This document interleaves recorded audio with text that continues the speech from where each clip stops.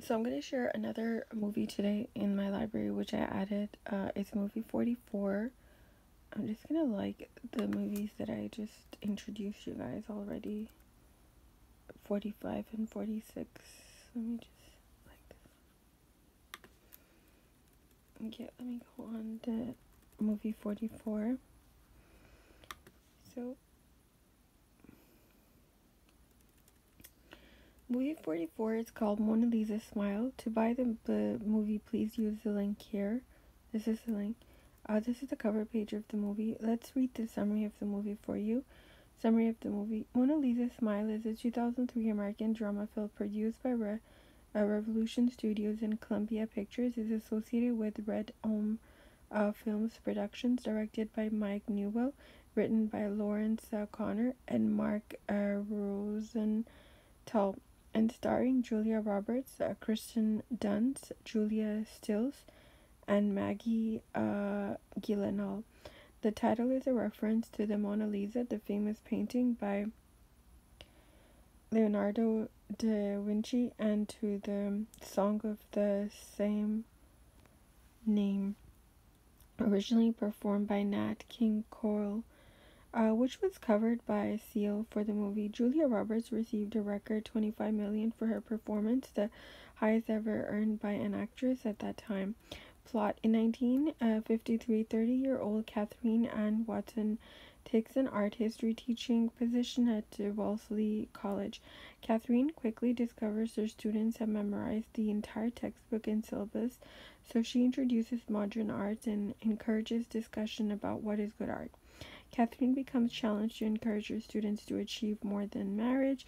Uh, opinionated uh, Betty Warren is outspoken, conservative, and insists the universal standard exists for uh, what is good art. She writes editorials uh, for the college paper and exposes campus nurse and lesbian Amanda Armstrong for supplying a contraception, resulting in her termination. Other Editorials attack uh, Catherine for advocating that women seek carers in addition to marriage. Betty is eager to marry her fiance Spencer and expects the traditional married uh, student exemptions. However, Catherine insists she will grade her based on merit and expects her to complete all assignments and tests. Connie Baker begins dating Betty's cousin Charlie, but breaks it off after Betty claims he is seeing another girl named Deb. She says Connie is just a casual fling. However, some weeks later, Connie and Charlie reconnect, with him insisting that he had stopped seeing Deb the previous summer. Connie later angrily confronts Betty for being hurtful and lying. John Brandwyn considers studying law, so Catherine encourages her to apply to Yale Law School. John is accepted, uh, but declines admission to instead marry Tom Donegal. She tells Catherine that choosing to be a wife and mother does not reduce her intelligence. Catherine says she will eventually regret her decision. Giselle Levy has liberal views about uh, and has had several lovers. She admires Catherine for encouraging students to be independent while earning Betty's enemy. Catherine's California boyfriend Paul unexpectedly visits. Catherine declines Paul's marriage proposal and begins seeing Wellesley Italian professor Jill Dunbar. Bill is charming and has many stories about Europe and his heroic actions in Italy during the war. He also has had affairs with students, including uh, Giselle. Catherine insists he stop.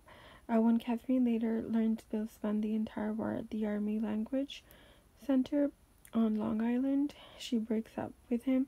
Uh, Bill claims she did not come to Wellesley to help the students uh, find their way, but rather her own path. Betty's marriage falls apart after Spencer is seen with another woman. Betty leaves him, but her unsupportive mother demands she work things out with her husband. Betty visits Giselle in her dorm, at first attacking her for her promiscuity, then breaking down and accepting her sympathy and support. Betty regrets maligning um, Catherine in her editorials. Eventually, Betty files for divorce, and she and Giselle plan to find an apartment in Greenwich Village. When Betty's mother confronts her. Betty uh, chastises her and credits Catherine as being the only one who supported her and uh, goes to live with her own life. Although Wellesley administrator disapprove of Catherine's progressive teaching methods, but because her cousin course is popular, she is invited to return the next year, but under certain conditions, she must follow the school syllabus, submit lesson plans for approval, stop giving students private advice, and maintain a strictly professional relationship with all faculty. Catherine resigns and prepares to explore Europe. Betty dedicates her last editorial to Catherine, calling her an extraordinary woman who lives by example and compelling in all to see the world through new eyes. As she leaves in a taxi, the students follow on her bicycles with Betty reaching out to say goodbye, and the taxi uh, speeds away. So we're just gonna like this movie here. So enjoy this one also.